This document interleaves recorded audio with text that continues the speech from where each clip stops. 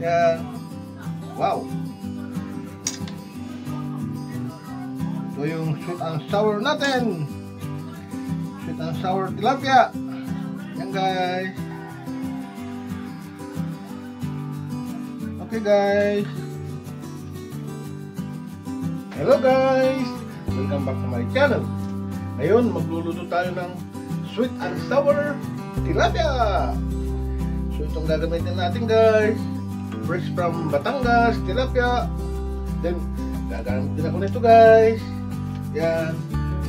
Bell pepper, carrots, uh, onion, cornstarch, ginger, and sukang paumbong and sugar and salt and pepper. So ang gagawin natin guys. So guys, lagyan natin ng salt.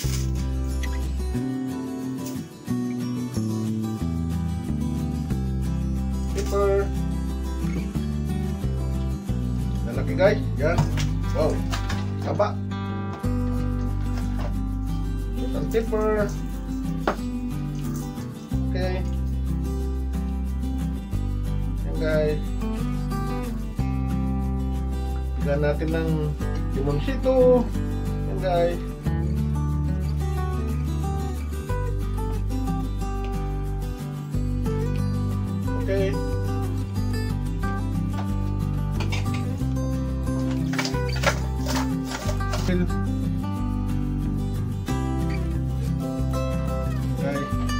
Okay.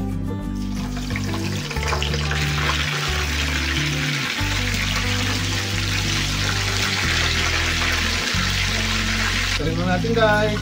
Yan. Wow.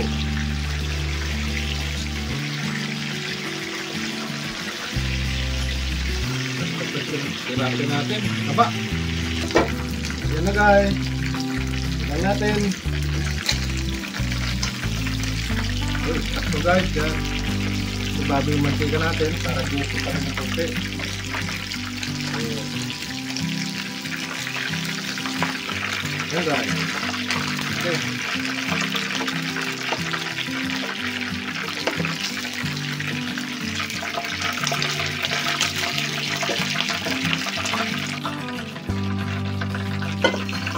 Ano yung naprito natin guys. Yan. Lalaki. Yan. Sarap na sweet and sour.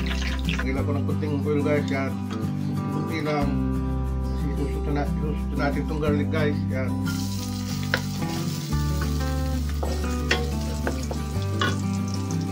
Okay, tingnan natin itong carrots, medyo matigas-tigas to. Yan. Onion.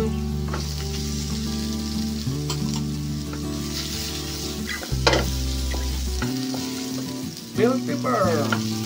Okay.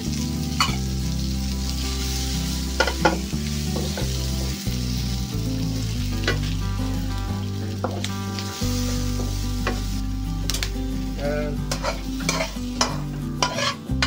Lagyan na tayong tubig. Ayan.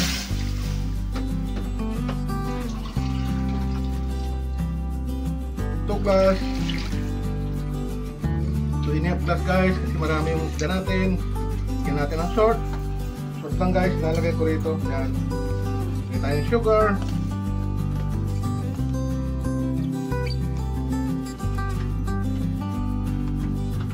Yan guys. 3 4 Lagyan na tayong ketchup. Yan guys.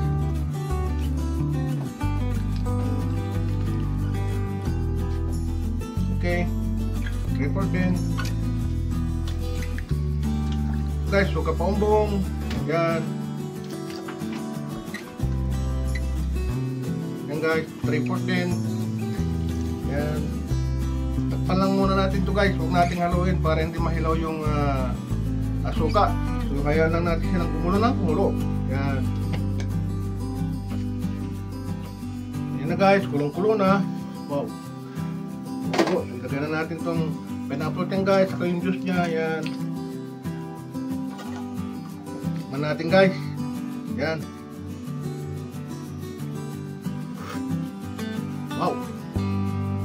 Lang yung measurement natin guys. Kung sundan nyo lang yun, yun na yun.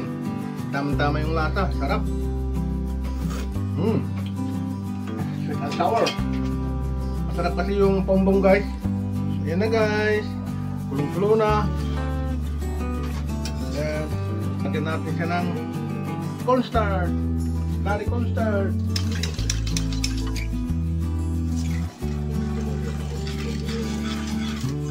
Tama-tama.